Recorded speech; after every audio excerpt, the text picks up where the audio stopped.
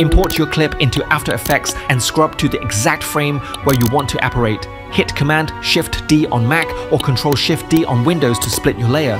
Go one frame forward, select the first half, and freeze frame it. Then mask or rotoscope yourself out. Now grab the puppet pin tool with Command P or Control P. Drop pins on your joints, shoulders, hips, arms, legs, then drag them into a rough half circle shape. It is going to look a little cursed, but trust the process.